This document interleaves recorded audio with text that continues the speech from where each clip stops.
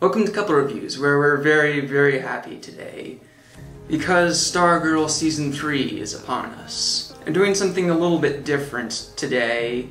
Uh, I was going to do a video about the first two seasons of Stargirl, and then do episode by episode reviews of Stargirl Season 3, but then I decided just to talk about the first two seasons in the same videos as the Season 3 analysis. Basically, it's about this teenage girl whose stepdad used to be a superhero sidekick. They moved to Blue Valley where there turns out to be a bunch of supervillains who killed off the, the earlier team of superheroes. So then Courtney finds this staff that used to belong to a superhero named Starman, who her stepdad was a sidekick to, and she uses that to be a superhero and she gets these other teenagers to join her team of superheroes to fight the bad guys. You might be wondering, why this show? Why do episode by episode videos of Stargirl I haven't done that for any other show yet? When I first watched season 1 of Stargirl, I thought that it was good with a few rough, hokey moments here and there. When I got to the last episode, they revealed that the bad guys were basically the Thought Police, which I thought it was so cool that in this day and age they had the Thought Police be the bad guys. Basically had this machine to rewire people's brains to think correctly and if it didn't work on them they would die and that meant like thousands of people would have been killed if, for not thinking correctly. So I thought this show, I will fight for this show. I love this show. And then season two came out and it was so much better than the first season and I've just gotten really attached to these characters, some of them anyway, and I think Stargirl is the best show on CW. I know there's not much competition for that. So everybody leave your depression at the door because we have an episode of Stargirl to watch. Obviously in a video about the romance in Stargirl, you want me to, you're probably if you're familiar with the show, you probably want me to jump straight to Courtney and Cameron. We'll get to them. We'll get to them. But I want to talk about the parents first. I thought that they did a really uncliched job of Courtney's mom not knowing at first, but then finding out in a in a timely manner and, and reacting to it the way that she should have uh, from a from a writing perspective. I mean, normally in a show where they keep it a secret from the parents, that the teenager is a superhero, you expect that to go on for the whole show or at least the first five seasons. But in Stargirl, they had her find out relatively soon, and then she, the way she reacted was she was freaking out at first because like that was which which was a realistic reaction, but then she came around like I think she was just realizing she was acting irrational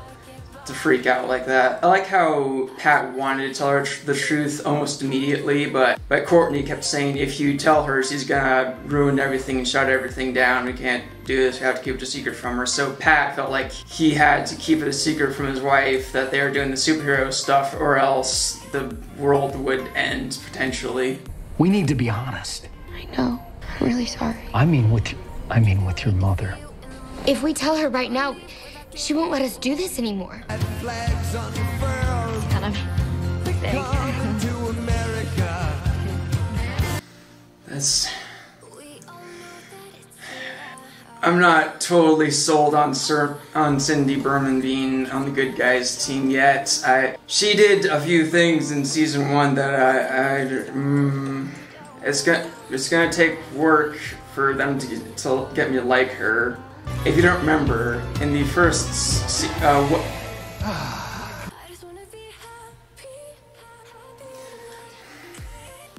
who who was asking for the gambler to come back for season three? I is never the best villain. All right, let's talk about the title here for a second.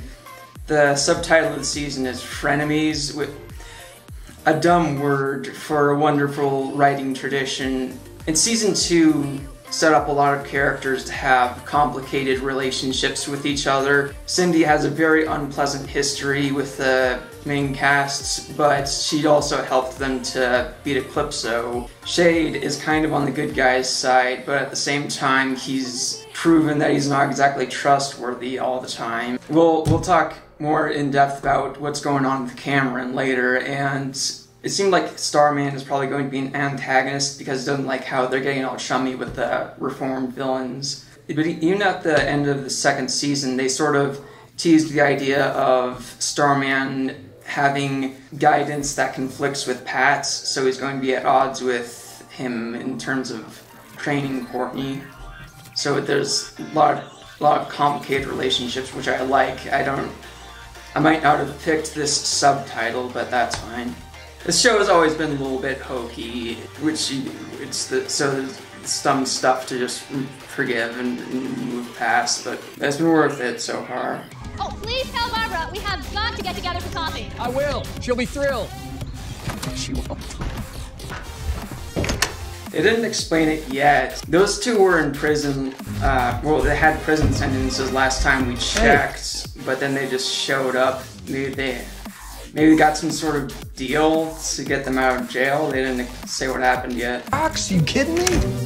They're not our enemies anymore. We can help the bad guys break good. And besides that, if the Crocks wanted to kill you, that lock wouldn't stop them. But while you were on the run, everyone else helped us save Blue Valley. Yeah, I heard all about that devilish business with the Black Diamond and Eclipso. My own father abandoned me. I want my daughter to go through life thinking I abandoned her. His story sounded fake until he brought up his own dad. I'm not sure if that was what they were going for. So let's talk a bit about Courtney and Cameron. The way they first met was was them doing nice things for other people. Where Courtney, uh, Joe, or Joey was doing a magic trick where he had Courtney pick a cards and put it back in the deck, and then he showed her a card and asked, "Is this your card?" And Courtney was, uh, knew it wasn't her card, but she said it was to make him look good and make him feel better. And Cameron knew what she did.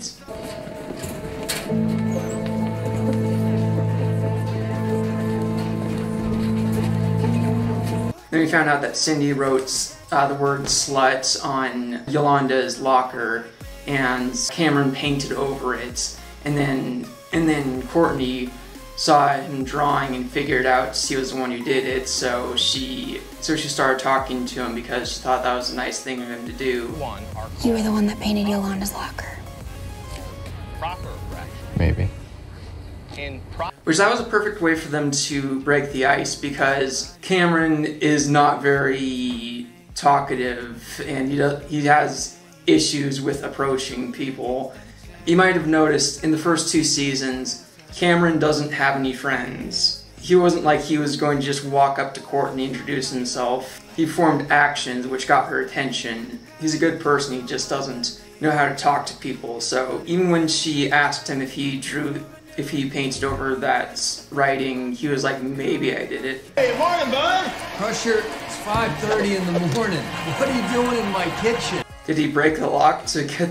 The gambler. Let me tell you something. That Kentucky Fried Felon is not to be trusted. You should talk. That's you killed multiple coaches because you didn't like how they were coaching your daughter. You killed one of your teammates yeah. because he was Almost talking crap about your daughter.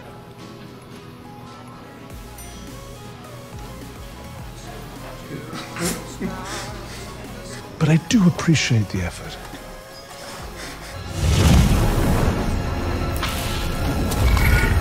Trying to think if the shade got hit with any of the, the Green Lantern energy in the first, in, in the second season. I don't think he did. The green sparks may, automatically made my mind go to Green Lantern, but I don't know what the connection is there. Especially Cindy. She stabbed me in the back, and she'll do it to you too, first chance she gets. If you don't remember what happens in uh, season one with Yolanda and Cindy, uh, Cindy, uh, Yolanda. Well, wait, wait, wait, wait, wait, wait.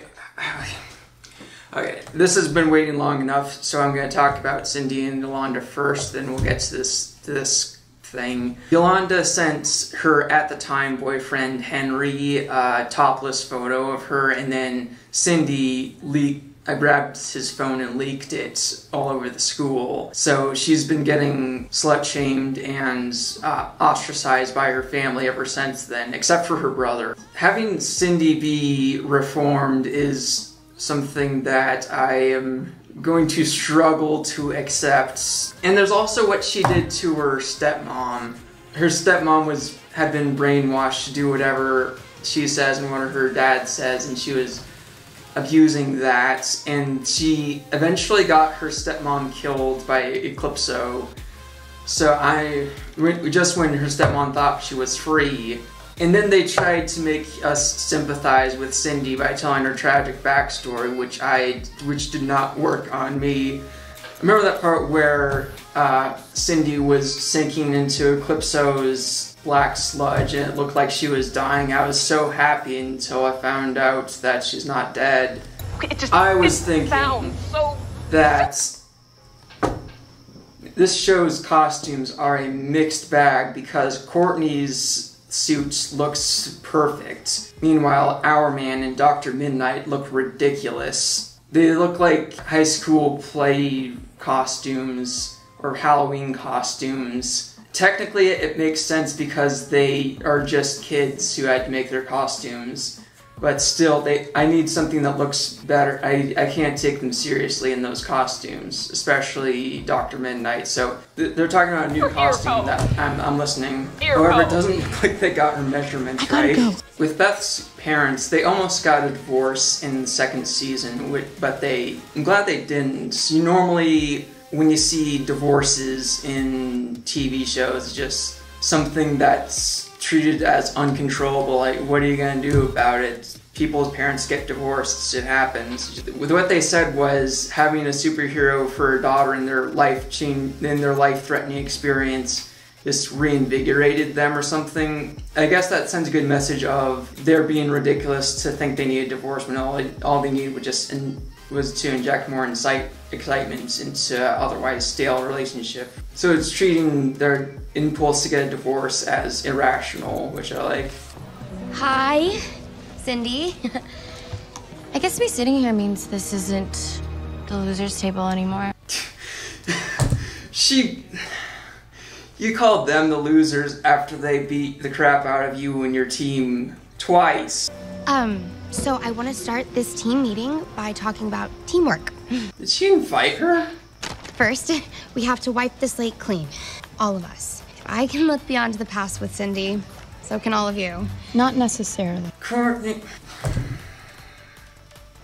I feel like that's not that's not Courtney's decision to make. It, Courtney, I, I understand that Courtney got hospitalized by Cindy that one time, but Yolanda continues to have problems with her parents and presumably other people talking about her like she's a slut, presumably to this day. I I think Courtney should have left this decision to Yolanda. No, Court. You and Beth agreed to invite her into the JSA. Yolanda and I, we voted no.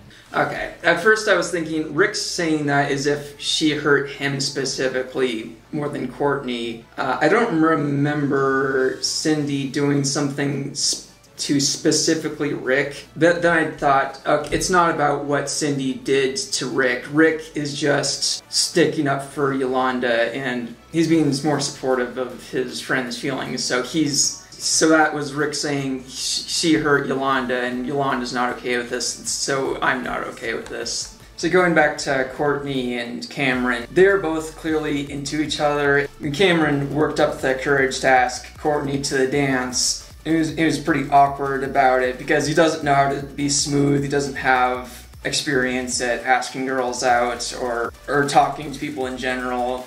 Because again, he has no friends. Courtney, Hey, I was hoping you'd be here. Do you mind if I sit down? please, yeah. Do you want to go to the homecoming dance with me? And then just Cameron's luck, she ends up getting hospitalized, so she can't go to the dance. And then they had that sit down dinner with Courtney's family and Cameron's family, and Courtney found out that Cameron's dad is Icicle, leader of the Injustice Society. If Jordan is one of them, does that mean Cameron is too? Like Cindy? I don't know. Hopefully, we can uh, do something soon. Uh, sure. Okay. And then that was the last we saw of Cameron for that entire season. It's a running theme that Cameron gets the short end of the stick. Courtney keeps giving him signals that she's interested in him, but then she keeps not get coming through for him because of all this stuff going on. Which she's not lying to him about being interested, at least not at first, because when she found out his dad was a supervillain, she it was unclear if she was if she was if she completely lost interest or if she was just being cautious from that point forward. I realize Artemis has a history with Courtney and her friends, like us. She desperately wants to join the Justice Society of America. I just hope Courtney doesn't hold grudges, because that'd be a real shame. Well, who's in the JSA isn't up to me. It's up to them. Great response there. Oh, you know, that's just that's that's above my pay grade. You know, you're gonna have to talk to my manager about that. Okay, he's alone now, so so he is looking for someone named Rebecca, but he gets no. I want to say that he could still be lying about why he wants to find her, but his picture on the lamp suggests he actually he's actually doing this out of love. What's that gun for? That looked like a single shot gun, a single bullet gun. I mean, so is he planning on killing himself if this doesn't work? At the end of season one, Cameron's dad ended up getting killed by accident, and Courtney never told him about that. And he, Cameron never knew that his dad was Icicle, so he has no idea about how he died. So in season two, Cameron is mourning his the loss of his dad, having no idea that his dad was a murderer or that he was trying to take over a chunk of the country. You had trouble asking Mom out? Well, I had competition. There was another man pursuing her. So what'd you do? I killed him. And, and Courtney is like coming in to say hello and make sure he's okay, which I'm not sure. I think at the beginning of season two, it's not really clear if Courtney is still interested in Cameron, but he's definitely still interested in her. And he got her to be interested in him again uh, by showing her his. I mean, I'm not sure if she was still interested or if he got her interested again. Uh, he showed Courtney pictures of her that he'd been drawing. I wanted to show you something, but it's it's kind of weird. It's me. And she thought that was really sweet. So that it could have been that she fell out of interest and then, then got interested in him again when seeing the pictures. But still, she keeps running off to do Stargirl stuff. So Cameron is getting upset that that she keeps running out on him and not being there for him, and she can't tell him why that is. But she keeps saying, "Yes, I'm interested, but also I can't. I'm too busy," which that that's driving him crazy, and he doesn't he doesn't know if she's actually intimate or not, or if she's just pretending to be interested in him. And he doesn't know if he's doing something to put her off because he's not he doesn't have much social interaction, so he doesn't have a frame of reference for how to interact with people. I have to go. I'm so sorry. The drawing weirded you out, didn't it? No, not at all. you can sketch me as many times as you want. and Courtney keeps saying that no, she likes she likes what he's doing, but it doesn't feel that way for him because she, she keeps not being there for him. I really have to go. You did this to me last year, Courtney. You always leave or never show. Last time.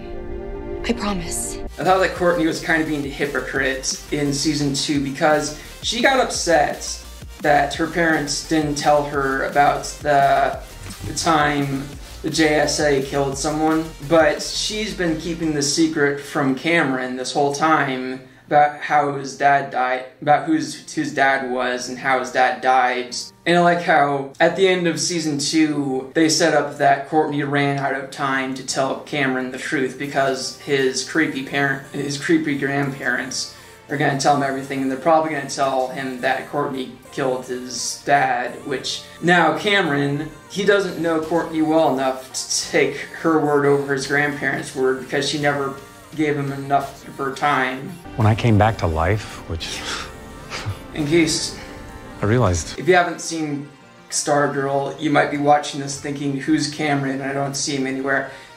Cameron has not shown up in this episode, uh, not yet, anyway.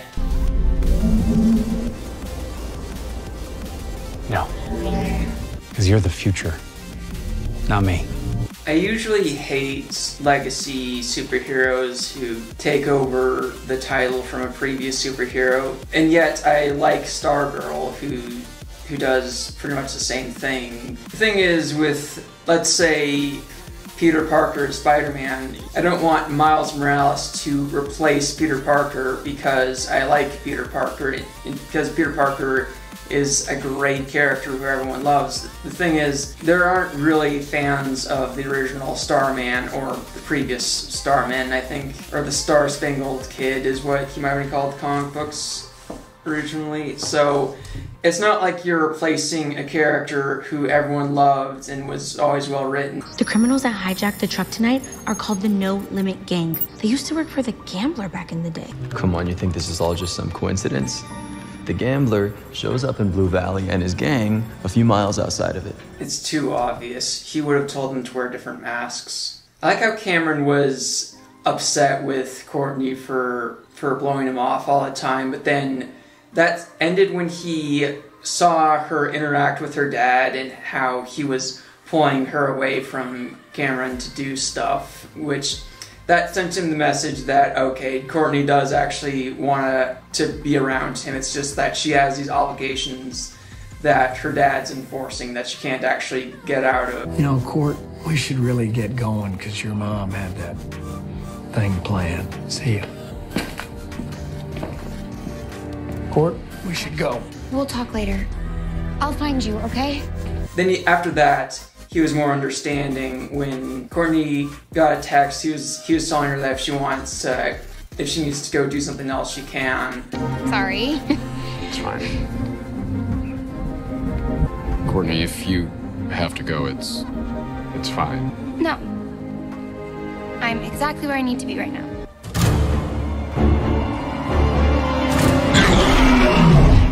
Is he dead? Why are you giving someone like the gambler a chance? He's trying to be better for his daughter. Gambler is a better dad than mine ever was.